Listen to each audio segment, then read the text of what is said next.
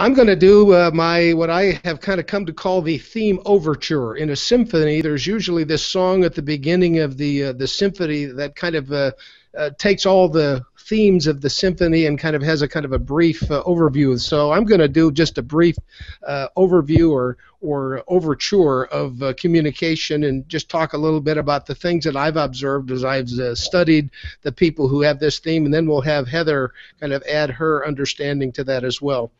Uh, really, communication is is really about people who have this natural ability for verbal expression that brings conceptual clarity and social connections. So it's both a a social theme, but I think it also adds adds to understanding. In fact, one of the things that I I really have sensed that people with communication really value is they value being understood. They want people to get what it is that they're saying and uh, and the way that they do that, I think sometimes it certainly could be about people who are very good at presentations, about uh, speaking, uh, but I think it's also about it's not just monologue it's also dialogue. It's about the conversation. It's the give and take. It's it's both talking and listening the the dialogue and so i think at its best uh, at its uh, most mature version, I find that people with communication are very good conversationalists, and it's in the in the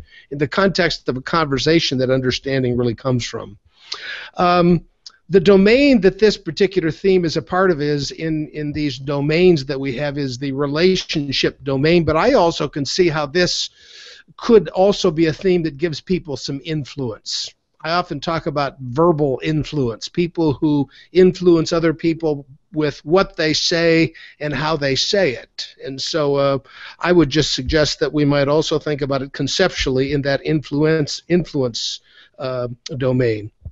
Some of the nouns that I kind of think go with this particular theme are uh, words like talker, presenter, conversationalist, storyteller, verbal processor, explainer, and maybe even writer. I wouldn't be surprised that there are some people with this theme or uh, might be people who like to write, express their thoughts on words on paper. Adjectives would be talking, presenting, processing, transparent, uh, interactive, expressive, captivating, and even entertaining, I think, could certainly go with this.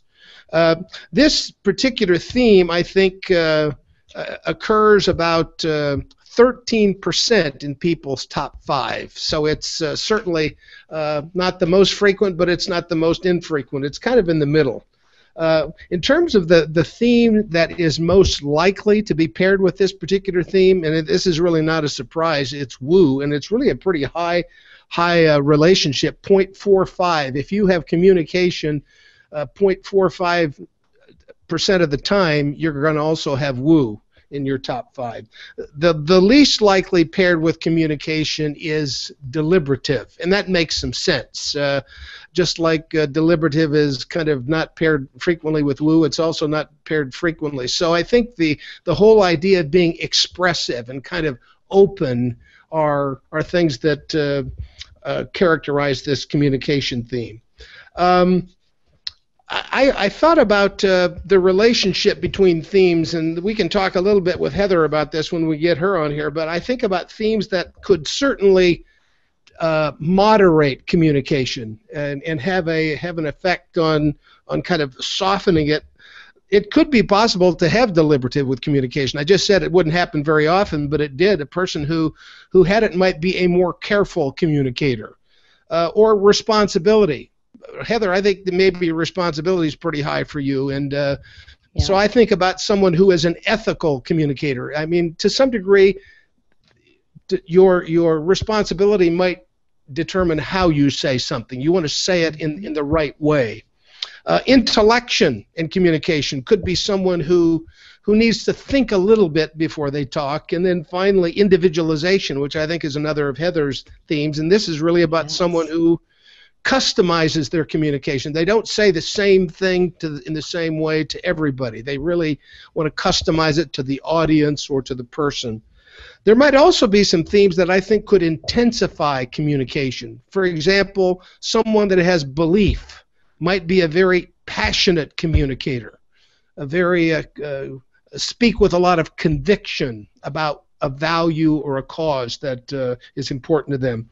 People with futuristic might be inspiring communicators as they paint pictures with words.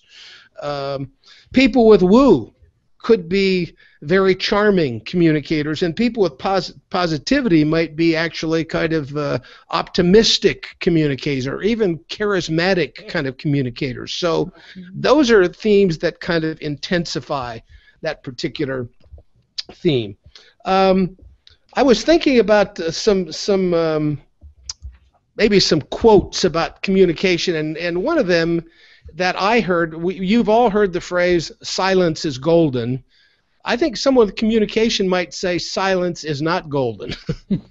and, and and the reason here's the reason why I think to some degree silence can easily be misinterpreted. What does it mean that you're quiet? Usually, uh, when we speak, it's easier to to understand how someone's feeling. I also came across an, another quote that I thought was a kind of a good one. I have this kind of interest in in the soul of a person. So this is what a uh, a person by the name of um, the name kind of is not printed here, so I'll get it later. But here's what this person said: One's language is a spiritual location. It houses your soul. If you were born in America, all your all essential communication, your deepest conversations with yourself will be in English. Your English is the principal instrument of your humanity. And so, to some degree, there's a real connection between who you are and the words that you speak. And I think that's especially true with uh, with communication. And then one more: words are singularly the most important powerful force available to humanity. We can choose to use this force constructively with the words of encouragement or destructively using words of despair. Words have energy and power with the ability to help, to heal, to hinder, to hurt, to harm, to humiliate, and to humble. And those words are from Yehuda Berg. And I, I think it really kind of sets the stage for the, uh, the value of words.